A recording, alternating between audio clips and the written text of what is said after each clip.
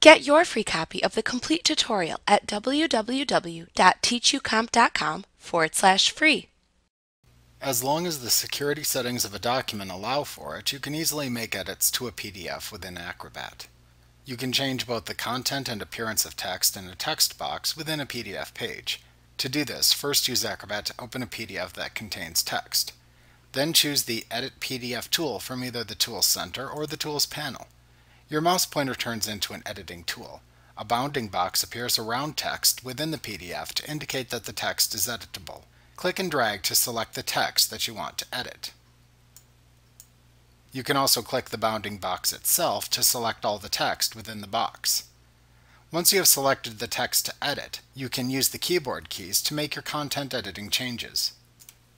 To format text, click and drag to select the text to modify within the bounding box, and then use the Format tools found in the Tools pane.